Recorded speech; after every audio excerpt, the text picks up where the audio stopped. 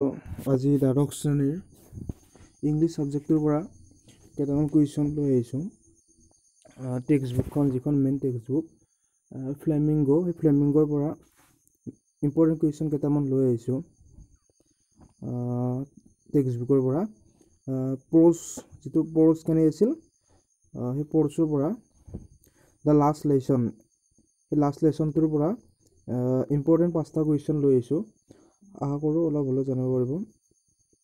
Question one what was Franz expected to be prepared with for school that's day ফ্ৰান্সে কি আশা কৰিছিল আৰু কি সাজু হৈছিল কিহৰ বাবে সাজু হৈছিল ফৰ ডেটছ ডে সেইদিনাখন স্কুলত?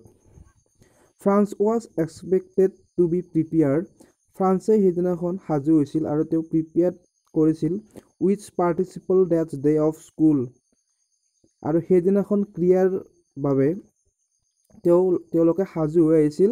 As mister Hamel had said that he will question them on participles আৰু মিষ্টাৰ হা মিষ্টাৰ হামেলে তেওঁলোকক ক্ৰিয়াৰ কিছুমান প্ৰশ্ন সুধিবৰ বাবে তেওঁলোকক কৈছিল।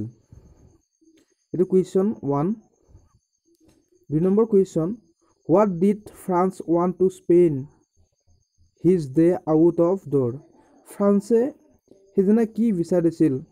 বা ফ্ৰান্সে স্পেইন মানে কিহত সময় তেওঁ অতিক্ৰম কৰিব বিচাৰিছিল? কিহৰ বাবে? বাহিৰত কিহৰ বাবে তেওঁ কিয় সময়বিলাক অতিক্ৰম কৰিবলৈ বিচাৰিছিল? এইটো কুৱেশ্যন অসমীয়াত। এনচাৰটো হ'ব যে when Franz had been very late যে যেতিয়া ফ্ৰান্সে বহুত দেৰিকৈ স্কুললৈ আহিছিল। ডেট ডে সেইদিনাখন মিষ্টাৰ হিউমেল চেইড আৰু মিষ্টাৰ হিউমেলে কৈছিল। That he will question them on participle আৰু তেওঁলোকক কি কৰিছিল? সেই কুৱেশ্যন বিষয়ৰ সেই ক্ৰিয়াৰ প্ৰশ্নবোৰৰ বিষয়ে তেওঁলোকক কৈছিল। ফ্ৰান্স নিউ আৰু ফ্ৰান্সে জানিছিল। নাথিং এবাউট দেম আৰু তাৰ বিষয়ে তেওঁ জনা নাছিল। He was dazed and scared. আৰু কি কৰিছিল?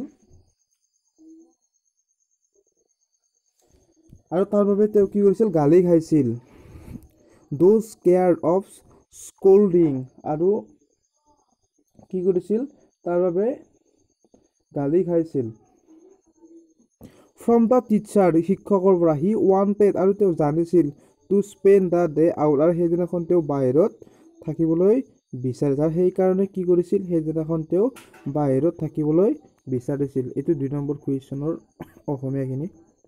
তিনি number question what had been put up in the bulletin board what had been put up আৰু সেই বুলটিন বৰ্ডখনত কি কৰিব গৈছে বুলটিন বৰ্ড মানে হ'ল প্ৰজ্ঞাপন board প্ৰজ্ঞাপন board the last two years all our bad news আৰু সেই যোৱা দুই বছৰৰ পৰা আমাৰ বেয়া খবৰ আহিছিল। Had been come had had come from three আৰু তিনিটা বেয়া নিউজ আহিছিল। The loss battle the draft ড্ৰাফৰ বাবে দ্য অৰ্ডাৰ আৰু তেওঁলোকৰ বাবে কি আছিল? ঘোষণা আহিছিল of the commanding officer commanding অফিচাৰৰ পৰা এন আই থ্ৰট আৰু তাৰ মাজেদি to myself with to myself without stopping আৰু তাৰ বাবে কোনো ধৰণৰ মোৰ ফালৰ পৰা বন্ধ কৰা নাছিলোঁ। এইটো এইটো চাৰ নম্বৰ চাৰ এইটো চাৰ নম্বৰ এইটো চাৰ নম্বৰ কুৱেশ্যন এইটো চাৰ নম্বৰ কুৱেশ্যন লগতে what change did the order from Berlin's cause in school that day আৰু সেইদিনাখন কিহৰ কাৰণে প্ৰজ্ঞাপন বৰ্ডখন সলনি হৈছিল the order from Berlin cause আৰু সেই সিদিনাখন বাৰ্লিনৰ পৰা ঘোষণা আহিছিল যে মেন চেঞ্জ আৰু কিছু সলনি হৈছিল in the school that day স্কুলত the entire school scamp and solemn আৰু সেইদিনাখন কি কৰিছিল? চেম্প একেধৰণৰ দ্য অল্ড ভিলেজাৰ সেই পুৰণি গাঁওবাসীসকলৰ ৱেৰ চিটিং য'ত তেওঁলোকে কি কৰিছিল? অৱস্থান কৰিছিল অন দ্য বেক বেঞ্চ পুনৰ বহিছিল অফ দ্য ক্লাছৰুম আৰু সেই লাষ্ট শ্ৰেণীৰ কথাটোত যেতিয়া বহিছিল কুইকলি সম্পূৰ্ণভাৱে টু থিং আৰু ভাবিছিল এম হেমেল আৰু M Hamel for his forty years আৰু এম হেমেলৰ তেওঁৰ যি চল্লিছ বছৰ যি চল্লিছ বছৰ। ফেথফুল ছাৰ্ভিচ খুব ছিনচিয়াৰভাৱে তেওঁলোকে কি কৰিছিল? সম্প সম্পূৰ্ণভাৱে তেওঁলোকে সেৱা কৰিছিল। এণ্ড ফৰ শ্বয়িং আৰু তাৰ ওপৰত কি কৰিছিল? দেখুৱাইছিল। দিয়াৰ ৰেচপেক্টেড ফৰ দ্য কাউণ্ট্ৰি আৰু তেওঁলোকৰ যিখিনি ৰেচপেক্ট সন্মান সেই সন্মানখনৰ বাবে তেওঁলোকৰ যিখন দেশ সেই দেশৰ বাবে তেওঁ কি কৰিছিল? ৰেচপেক্ট পাইছিল। How did the Franz feeling about M Hamel and school change ফ্ৰান্সে কি অনুভৱ কৰিছিল? এম হেমেলৰ এম হেমেলৰ বাবে যেতিয়া তেওঁ কি কৰিছিল? স্কুল সলনি কৰিছিল। When Franz did not like যেতিয়া ফ্ৰান্সে তেওঁক ভাল পোৱা নাছিল। M Hamel much because M হেমেলক কাৰণ of his ruler and cranky তেওঁৰ যিখিনি নিয়ম আৰু যিখিনি খঙাল খঙাল স্বভাৱৰ কাৰণে তেওঁৰ যিটো খঙাল চৰিত্ৰ nature and he will feel far আৰু তেওঁ কি কৰিছিল? তেওঁৰ বাবে ভয় অনুভৱ কৰিছিল। ভয় অনুভৱ কৰিছিল ফ্ৰম হিম বাট তেওঁৰ পৰা বাট কিন্তু নাও অল ড'জ কিন্তু তাৰপিছত সকলোবোৰ all those feeling were entirely change for M Hamel তাৰপিছত তেওঁ যেতিয়া সোমোৱাইছিল তেতিয়াৰ পৰা তেওঁলোকে কি হৈছিল সলনি হৈছিল। The message convert by M Hamel আৰু তেওঁ কৰিছিল সেই যিবিলাক খবৰ সেই খবৰবিলাক কি কৰিছিল এম হেমেলৰ বাবে এম হেমেলে কনভাৰ্ট কৰিছিল। About the order from Berlin বাৰ্লিনৰ পৰা।